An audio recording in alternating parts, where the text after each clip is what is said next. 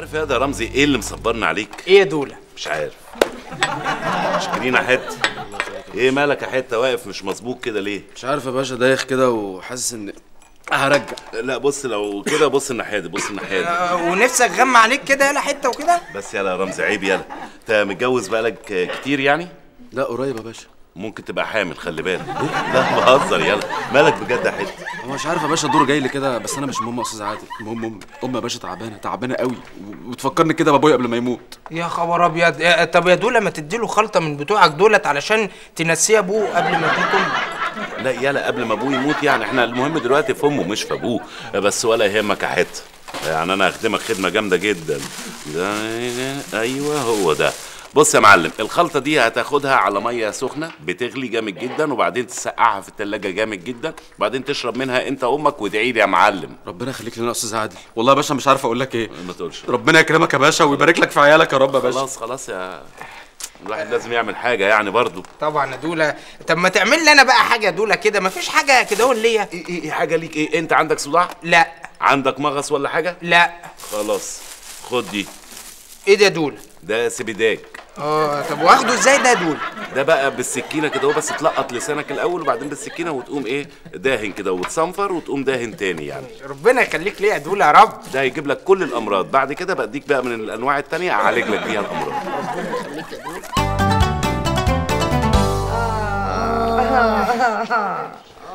إيه يا ماما.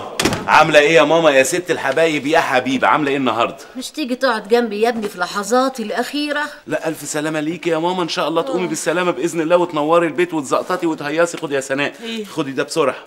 روحي اعمله لنا في شوية مية وقلبيه وهاتيه بسرعة. إيه ده؟ إيه ده يا عادل ده؟ دي وصفة مهمة جدا دي اللي هتخفف ماما وتخفف حماتي بإذن الله. هات لنا كوبايتين بس بسرعة. يلا ماشي، يلا يلا, ماشي، يلا. ماشي. لا لا جامي يا عادل. أنا مش هقدر آخد الحاجات المواصفات بتاعتك دي. أنا فيا اللي مكففنيني خالص من فضلك ارحمني خالص. اسكتي يا مجيد. عادل مش هيعمل حاجة تخلينا نبقى وحشين مش كده يا عادل؟ آه، طبعا يا ماما. أنا لو ما كنتش واثق 100% من الخلطة اللي جايبها لكم دي ما كنتش اديتها لكم يعني. أيوه يا أبي بس حتى الأعشاب لازم تتاخد تحت إشراف دكتور. ها دكتور هما الدكاترة يحطوا مناخيرهم في كل حاجة كده. يا ماما دي عايزة مفهومية وعايزة عقل والمفهومية والعقل عارفين فين طبعا يعني. أنا مش عارفة ليه أنا مش مطمنة لك خالص يا عادل. ولا أنا يا ماما. عموما لما ماما تشرب بقى الخلطة بتاعتي دي وتخف وتقوم تزقطك كده ساعتها هتندمي وتقولي يا ريتني خدت الخلطة. اتفضلي يا ماما يا ست الكل يا ست الحبايب. هات يا حبيبي. بالهنا والشفا. سمي يا ماما. بسم الله الرحمن الرحيم. الله ده حلو قوي. ده أحلى من الكوكتيل. شفت بقى يا ماما؟ يعني أنا هديكي حاجة وحشة. ألف سلامة ليكي وإن شاء الله بالشفا يا ماما. طب أنا بقى عايزة الكوباية بتاعتي. لا مش هديكي الكوبايه مش أنت قلت مش عايزة؟ أنا ماليش دعوة أنا عايزة الكوباية بتاعتي. يا عم عادل اديها الكوباية خليها تطفحها. مش هنخلص من زنها. خدي خدي. عموما هتعرفي قيمة الكوباية دي لما تخفي وتقومي تزقططي وتتنططي وتقولي الكلام الغريب اللي بتقوليه. زيحي يا مجيده العيا مر.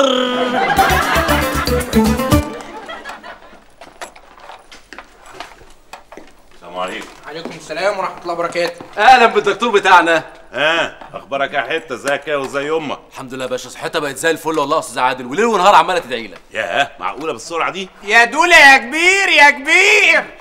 يا جماعة يعني مش عايزكم تحرجوني. يعني ده كل ده بفضل ربنا. إحنا مجرد أسباب يعني ما عملناش حاجة يعني. الحمد لله. آه، وبعدين يعني بإذن الله بعون الله مع الأعشاب الطبيعية اللي أنا بعملها بعد كده مش هتلاقي أي مريض موجود في البلد. يعني ولا بقى مستشفيات ولا أدوية ولا كلام فارغ. من ده يا معلم؟ الله عليك يا دولة. إيدك ابوسها يا أستاذ عادل. لا لا لا استغفر الله العظيم دي الشمال. خد دي.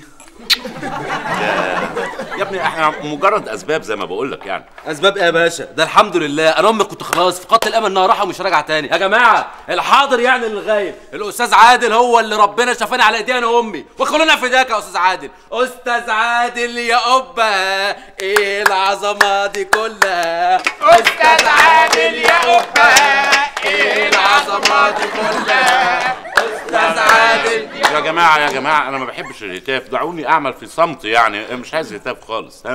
أستاذ عادل يا قبه إيه العظمة دي كلها؟ أستاذ عادل يا قبه إيه العظمة دي كلها؟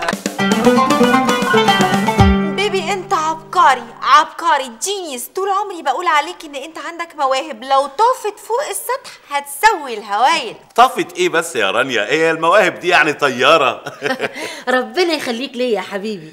عارف العيا ده كان غم ونزاح والحمد لله. الحمد لله. العافيه يا ماما دي حاجات بسيطة.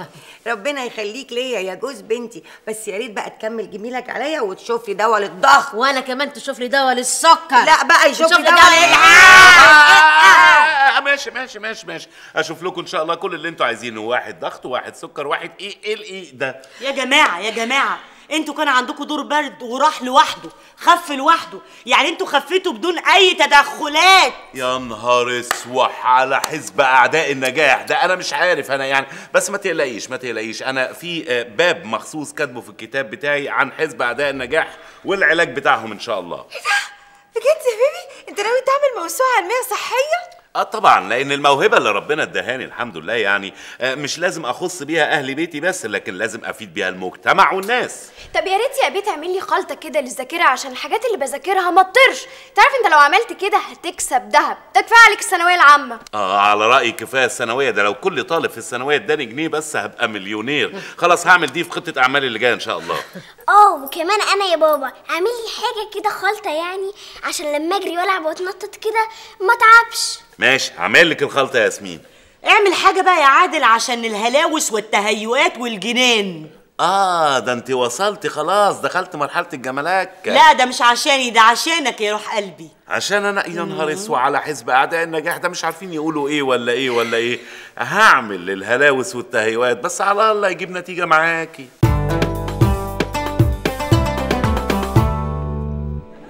السوشو دولا تشانجيانج اتفضل يا prof. اتفضل يا prof. اتفضل. واحدة واحدة ارجعوا كده اهو نصف كله. مش عايزين هرجلة. تعال انت يا حاج كده عشان نلحقك النبي يا ابني شوف لي حاجة للكبد احسن. تعبني قوي الكبد تعبك قوي الكبد الكبد. لا ده الطحال. ده اللوز الكبد أهو. آه خد يا حاج دي خلطة مخصوص عشان الكبد معمولة من كبد الحوت مع كبد الغزال مع كبده اسكندراني ودقة بقى وإيه يا معلم. خد. دي هتاخدها 60 مرة في اليوم لمدة أسبوع وتجيلي بعد شهر إن شاء الله. تفتكر بقى ان هعيش العمر ده كله؟ الخلطة اللي معاك دي تقعدك بتاع 50 سنة على الأقل إن شاء الله. ربنا يخليك يا ابني ويطرح فيك البركة ويكتر من أمثالك. مع السلامة. اللي بعده؟ إيه بتقول إيه؟ اللي بعده. محسوبك. حمادة أبو قصة. أبو قصة. آه، بص آه، سيب شعرك يعبر عنك. مش محتاج تعرف نفسك واضح القصة طبعا تحت أمرك. المشكلة إن شعري ما بقاش زي الأول. أكيد طول. ما بص البني أدمين اللي زينا يعني آه، لما بيكبروا شعرهم بيطول وبعدين سنانهم بتقع. مم، وبيهبل له بعد كده. أنت بتتكلم ليه؟ مش أنا متفق معاك مفيش كلام خالص؟ آسف. مشكلتي يا بوف إن شعري بقى مليان قشر. والبنات اللي كانت بتجري ورايا علشان شعري بقوا بيجروا مني وبرضه علشان شعري. إيه إيه إيه ها ها ها, ها إيه إيه. آسف. أكيد بقى المشكلة يا معلم في الشعر. ولا ولا ولا أنت بتتكلم أنت هتعمل لي فيها صيني؟ خليك في القرطاس اللي أنت لابسه ده مش عايز كلام خالص. آسف.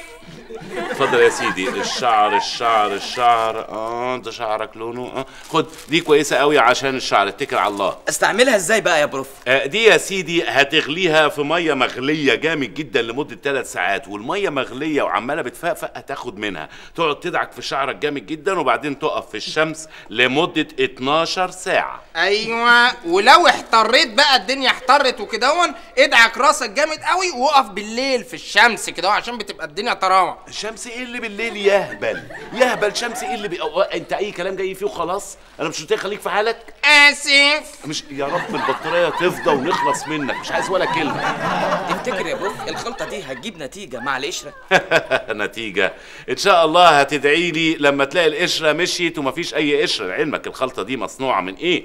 من كل الحاجات اللي ليها علاقة بالقشر. يعني دي مثلا معمولة من قشر السمك مع قشر اللب مع قشر البطيخ. شكرا. العب ولا ولا ولا. ما تبوظليش المشروع. آسف.